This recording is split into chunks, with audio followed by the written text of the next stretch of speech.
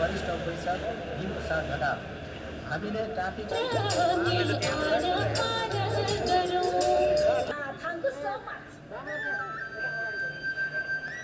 पम्पलेटमा miking लगायत विभिन्न ठाउँमा चाहिँ हामीले चाहिँ होर्डिङ बोर्डहरू राखेर पनि चेतना फैलाएका छौँ र त्यस्तै पछिल्लो आवरमा हामीले डमी ट्राफिक डमी राखिकन त्यहाँ सडक सूचनाहरू चाहिँ हामीले त्यहाँ राखिराखेका छौँ।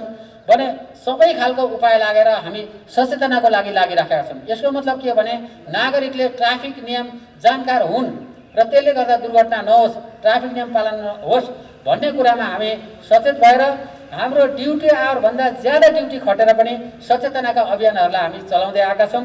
र त्यसैको कडीको रूपमा आज हामीले चाहिँ यो सुरु गर्दैछौँ। डमी मार्फत चाहिँ सचेतना दिउँ भनिकन हामीले चाहिँ यो डमीको कन्सेप्टलाई अगाडि ल्याएका छौँ। कि यहाँले देख्न सक्नुहुन्छ अगाडि कि त्यो डमीमा साउन्ड सिस्टम पनि हुन्छ र साउन्ड सिस्टममा चाहिँ हामीले हाम्रो ट्राफिक सचेतना सम्बन्धी गीतहरू अनि हाम्रो ख्यातिप्राप्त जो वरिष्ठ कलाकारज्यूहरू हुनुहुन्छ उहाँहरू सामाजिक अभियन्ताहरू उहाँहरूका चाहिँ सन्देशहरू हामीले त्यहाँ राखेका छौँ र ती सन्देश र गीतमा चाहिँ हाम्रो ट्राफिक नियमका तिस पैँतिसवटा नियमहरू सबै समावेश गरिएको छ। ती सबै समावेश गरेर हामीले राखेका छौँ।